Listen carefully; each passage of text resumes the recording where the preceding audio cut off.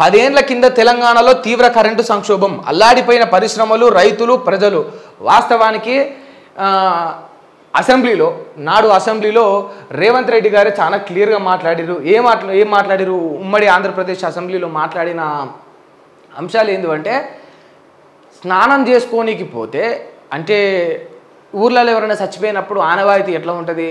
ఎవరైనా చచ్చిపోతే సావు అయిపోయిన ఎంబటే ఆ బొందల గడ్డ నుంచి బొందల కా కాష్టాల గడ్డ నుంచి ఏడికి పోతారంటే ఓ బోరుబాయి కాడికి పోతాడు బోరుబాయి కాడికి పోయి ఆడ బోర్ ఇప్పించుకొని ఇక ఒక దిక్కు మహిళలు ఇంకో దిక్కు పురుషులు వాళ్ళు స్నానాలు చేసుకొని నామకే వాసిగా ఏంటంటే అంటూ లేకపోతే ఇక ఈ ఎనకటి నుంచి వస్తున్న ఆనవాయితీ ఎక్కడ క్రిములు ఉంటుంది మంచి ఉంటుంది చెడు ఉంటుంది ఇక అది ఆ అంటు అనేది పోవాలని చెప్పేసి అట్లనే చనిపోయిన శవాన్ని మోసిన వాళ్ళు శవం చుట్టూ తిరిగిన వాళ్ళు కాష్టం చుట్టూ తిరిగిన వాళ్ళు అంతా కూడా డైరెక్ట్ ఇంట్లోకి పోకుండా రోగాలు ఇబ్బందులు ఏమీ రాకుండా ఆ బయట బోర్ దగ్గర స్నానం చేసి ఇంటికి పోతారు. ఇది పల్లెల్లో ఉన్న ఆనవాయితీ. ఆల్మోస్ట్ తెలంగాణ అంతటా కూడా ఇట్లనే ఉంటుంది. దేశంలో చాలా రాష్ట్రాల్లో కూడా ఇట్లనే ఉంటుంది. అయితే ఏం జరిగిందట? తెలంగాణ రాకముందుకు నాడు ఉమ్మడి ప్రదేశ్లో ఉమ్మడి ఆంధ్రప్రదేశ్గా ఉన్నప్పుడు బో స- ఒక వ్యక్తి చచ్చిపోతే స్నానం చేసుకుందామని బోర్ కాడికి పోతే బోర్ వేయాలంటే కరెంటు కావాలి. ఆ three phase two phase current అనేది ఉంటుంది. ఆ బోర్ నీళ్ళు రావడానికి. ఆ కరెంటు కూడా కరువు అయిపోయే అక్కడ లోకలు కరెంట్ అధికారికి ఫోన్ చేసి జర్ర మా అయ్యగాని మా అయ్యగాని బిడ్డ ఒక రెండు నిమిషాలు కరెంట్ వదులు. జర చచ్చిపోయారు యాభై మంది అరవై మంది ఉన్నారు ఈడ. తానాల కాడ నిలబడ్డరు అని చెప్పేసి అడుక్కునే పరిస్థితి ఉండే అని చెప్పేసి చాలా క్లియర్గా ముఖ్యమంత్రి గారు ప్రస్తుత ముఖ్యమంత్రి గారు నాడు రేవంత్ రెడ్డి గారు ఉమ్మడి ఆంధ్రప్రదేశ్లోని అసెంబ్లీ సాక్షిగా చెప్పిన వ్యాఖ్యలు ఇవి. స్నానం చేసుకుందామంటే నీళ్ళు రానికి కరెంటు కరువైపోయినాడు శివ శివ ఒక శివాన్ని మోసి స్నానం చేసుకుందామంటే నీళ్ళు రానికి కరెంటు కరువైపాయే. నాటి పరిస్థితుల నుండి ఇవా ఈ తెలంగాణ రాష్ట్రం ఏర్పడిన తర్వాత మొదటి ఐదేళ్ళలో కూడా కొన్ని అవకతవకలు ఉండే. వాస్తవానికి కరెంటు విషయంలో వచ్చినెంబడ వీళ్ళు కరెంటుని కట్టగట్టుకొని వచ్చిరని చెప్తే అది అతిశయోక్తి అవుతుంది. అట్లా జరగలేదు. కాకపోతే ఒక మూడు నాలుగేళ్ళు టైం తీసుకొని ఆ తర్వాత కరెంటు సంక్షోభం అనేది లేకుండా చేసిండ్రు అనేది మాత్రం ముమ్మాటికి వంద వాళ్ళ నిజం ఇది ఇది వాస్తవం. ఏనాడైనా ఆ తర్వాత తెలంగాణ వచ్చిన ఒక మూడు నాలుగు ఏళ్ళ తర్వాత నుంచి వెళ్ళి మొన్నటి వరకు ఈ బీఆర్ఎస్ ప్రభుత్వం దిగిపోయే వరకు కరెంటుకు ఇబ్బంది పడ్డ దాఖలాలు ఉన్నాయా? ఎన్నో చెట్టు కూలి వైరు తెగిపోతేనో లేకపోతే వాతావరణం అనుకూలించక ఓ స్తంభం కూలిపోతేనో ఎవడన్నా తీటోడు రాయేసి కరెంటు తీగలని దగ్గర కల్లితేనో తప్ప కరెంటుకు ఇబ్బంది ఎదుర్కొన్న దాఖలాలు ఉన్నాయా అంటే ముమ్మాటికి లేవు. మంచిని మంచనే చెప్పాలి చెడుని చెడనే చెప్పాలి చేసిన దాన్ని గుర్తించాలి. సరే అవకాతవకాలు ఎన్ని జరిగినాయి అనేది అది న్యాయస్థానాలు నిర్ధారిస్తాయి. కరెంటు విషయంలో అవకతవకలు ఎన్ని జరిగి ఎంతవరకు జరిగింది అనేది న్యాయస్థానాలు నిర్ధారిస్తాయి.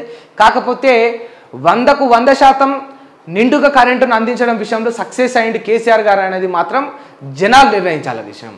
అది జనాలు నిర్ణయించాల్సిన విషయం. తెలంగాణ ప్రజలు నిర్ణయించాల్సిన విషయం.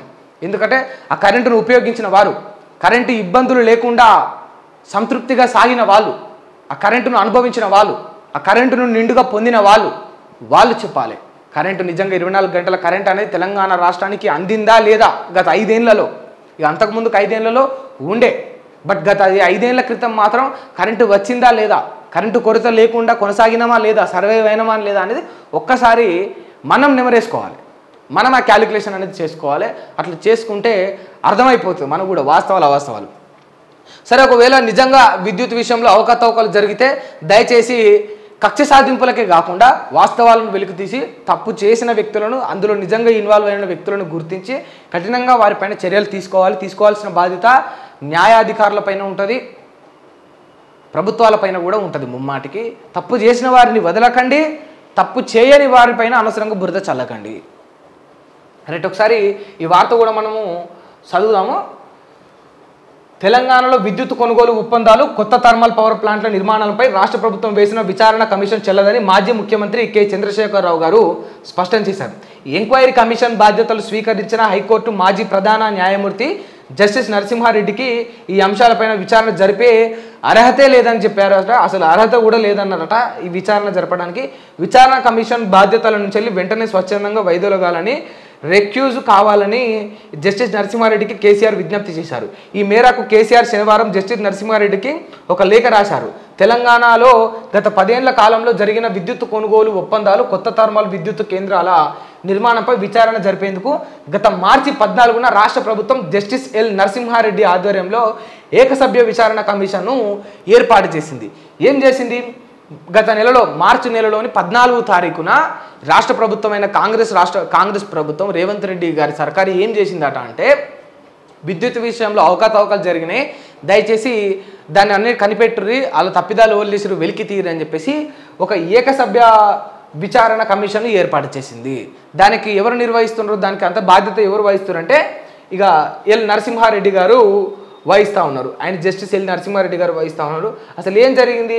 కమిషన్ ఆఫ్ ఎంక్వైరీస్ యాక్ట్ పంతొమ్మిది వందల యాభై రెండు కింద ఏర్పాటైన ఈ కమిషన్ ఇప్పటికే విచారణను ప్రారంభించి తెలంగాణ విద్యుత్తు సంస్థలకు చెందిన దాదాపు ఇరవై ఐదు మంది అధికారులను మాజీ అధికారులను విచారించింది. దీంతో పాటు అప్పటి ముఖ్యమంత్రి కేసీఆర్ను కూడా ఈ నెల పదిహేనవ తేదీలోపు వివరణ ఇవ్వాలని కోరుతూ నోటీసులు జారీ చేసింది. ఈ నేపథ్యంలో కేసీఆర్ గారు పన్నెండు పేజీలతో ఆయన వివరణ రాసి అసలు తెలంగాణకు కరెంటు ఏ విధంగా కొనుగోలు చేసినాం? ఎందుకు కొనుగోలు చేసినాం? ఎక్కడెక్కడ ఇబ్బందులు ఉండే ఆ ఇబ్బందులను ఏ విధంగా సమకూర్చినాం? ఎంత ఖర్చు అయింది ఎంత ఖర్చు పెట్టినామో అని ఆ లెక్కలన్నీ కూడా స్పష్టంగా పన్నెండు పేజీల వరకు వి- వివరణ రాసి సమర్పించారట జస్టిస్ గారు. వివరణతో పాటు ఏం చేసిరు ఇక ఒక వార్నింగ్ కూడా రాసినట్టే చాలా క్లియర్గా కనిపిస్తూ ఉంది. ఎందుకు అంటే ఇక్కడ చాలా స్పష్టంగా చూడొచ్చు. ఆయనకు అర్హతే లేదు. ఆయనకు అర్హత లేదు. ఈఆర్సీ న్యాయ ప్రాధికార సంస్థ కోర్టుతో సమానం. అది ఇచ్చిన తీర్పులపై కమిషన్ ఏర్పాటు చేయడం అనేది అది చట్టవిరుద్ధమే కదా అని చెప్పేసి కేసీఆర్ గారు నిన్న మనం చెప్పినాం కదా లాలో మనకు దొరకని ఎన్నో ఉంటాయి ఒకసారి దొరికించుకుంటే ఎంత దూరమైనా పోవచ్చు. ఆ లుసుగులు అనేవి ఇక అట్లా ఒక ఆయి పట్టు పట్టినట్టు ఇక కేసీఆర్ గారి పట్టు పట్టుకొని డైరెక్ట్ జస్టిస్ గారికి చెప్తా ఉన్నారు. మీరు ఆ యొక్క పదవి నుంచి ఆ కమిషన్ నుంచి వైదొలగాలని చెప్పేసి డైరెక్ట్ చెప్పడం అయితే చూస్తూ ఉన్నాం.